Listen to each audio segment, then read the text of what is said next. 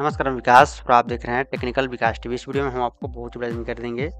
झारखंड के ration card से relative, अगर झारखंड के राशन कार्ड में कुछ भी आपने आवेदन दिया हुआ है, जैसे कि नाम जोड़ना हो, नाम किसी का हटाना हो, मोबाइल नंबर या आधार कार्ड कुछ भी चेंज अपडेट्स कराना हो, ठीक है? तो उसका आप स्टेटस कैसे चेक करेंगे कि अगर आपने आवेदन दिया हुआ है तो उसका स्टेटस आप कैसे चेक करेंगे? ठीक है? या आपने सीएससी सेंटर पर केंद्र से, या खुद से अगर आप आवेदन किए हुए हैं तो आपका, उसका आप स्टेटस कैसे चेक करेंगे, इसी के बारे में हम आपको जानकारी देंगे। अगर आप नया राशन कार्ड बनाने के लिए भी आवेदन दिए हैं तो उसका भी आप कैसे स्टेटस चेक करेंगे कि आपका अभी क्या है आपका बना है कि नहीं बना है, कहाँ पे पेंडिंग रिजेक्ट क्या कुछ है।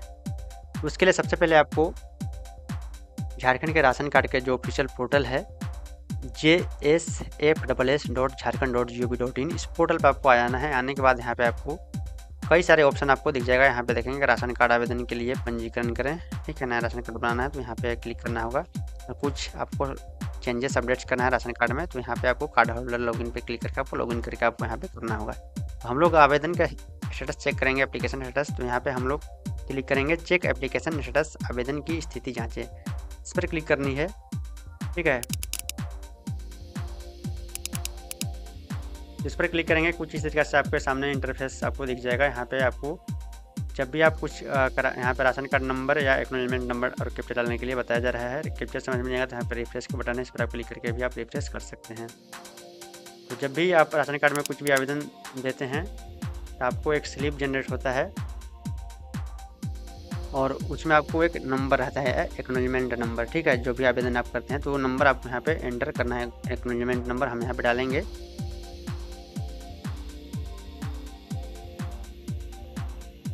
हमने डाल दिया है एक्नोलमेंट नंबर और यहाँ पे हम कैप्चर जो भी दिखेगा, उस कैप्चर को हमें सेम इस बॉक्स में एंटर करना है।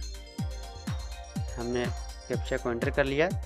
सर्च पे आप क्लिक करेंगे।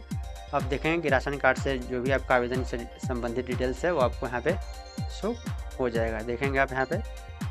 ठीक है एक्नोलमेंट नंबर यहाँ पे आपका दिख जाएगा और यहाँ पे राशन कार्ड नंबर और यहाँ पे मेंबर का नाम, पिता का नाम कार्ड का टाइप है, यहाँ पे आपका एड्रेस है। और यहाँ पे आप अप्लाई डेट जिस तारीख को अप्लाई अप्लाई किया गया था, यहाँ पे सत्रह चार दो हज़ार सत्रह को यह आवेदन दिया गया था। और रिक्वेस्ट और किस चीज़ के लिए आवेदन दिया गया था, वो यहाँ पे बताया जा रहा है। एड फैमिली मेंबर यानी कि नाम जोड़ने के लिए दिया गया था। किस जिसका नाम जोड़ने के लिए दिया गया था, उसका नाम यहाँ पे आपको शो हो रहा है। ठीक है तो नाम ऐड करने के लिए दिया गया था और उसका स्टेटस क्या है? यहाँ पे अप्रूवेड ऑन चार पाँच दो हज़ार चौबीस, यानी कि चार मई को इनका आवेदन को अप्रूव कर दिया गया है और नाम इनका सक्सेसफुली तरीके से राशन कार्ड में जुड़ गया है ठीक है? तो आपको मैं बता दूँ कि किसी और यहाँ पे रिमार्क में कुछ भी नहीं दिया गया है। अगर रिजेक्ट किया जाता है किसी कारण से तो यहाँ पे रिजेक्ट यहाँ पे आपको स्टेटस में रिजेक्ट अगर किया जाता है तो रिजेक्ट आपको लिख देगा किस कारण से रिजेक्ट किया गया है ठीक है रिमार्क में। और नहीं तो आप सबसे पहले किसी आ, नहीं तो आपका यहाँ पे अप्रूव होगा तो अप्रूव दिखा दे दिखाई देगा। सबसे पहले किसी भी प्रकार का आवेदन आप करते हैं राशन कार्ड से संबंधित नया राशन कार्ड बनवाना हो नाम नंबर जुड़वाना हो या डिलीट करना हो, कुछ भी करना हो। सबसे पहले आप आवेदन देते हैं तो आपका यह आवेदन बी एस लॉगिन में जाता है, ठीक है? बी एस लॉगिन से आपका अप्रूव होता है ब्लॉक से। इसके बाद ज़्यादा है जिला में डी एस लॉगिन में, ठीक है? डी एस से अप्रूव होता है, तब आपका सक्सेसफुल तरीके से यहाँ पे अप्रूव अप्रूव अप्रूवेड दिखा देता है।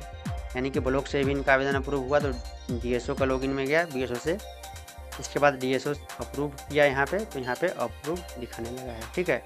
और जो भी डेट का आपका आवेदन अप्रूव किया जाएगा, चार पाँच दो वो आपका यहाँ पे डेट भी दिखेगा। चार पाँच दो चौबीस का आवेदन आपका अप्रूव कर दिया गया है। ठीक है, अगर आपका भी किसी भी आवेदन, पुराना अगर आवेदन हो किसी का, ठीक है, चार पाँच साल पहले का तो आप भी एक बार स्टेटस को चेक कर लीजिएगा। आपका भी यहाँ पर हो सकता है कि काम हो गया होगा। उम्मीद करते हैं अगर आपको पसंद आया हो। तो प्लीज़ वीडियो को लाइक करेंगे, चैनल को सब्सक्राइब करेंगे, ताकि इस तरह का अपडेट आपको आगे मिलता रहे। मिलेंगे जानकारी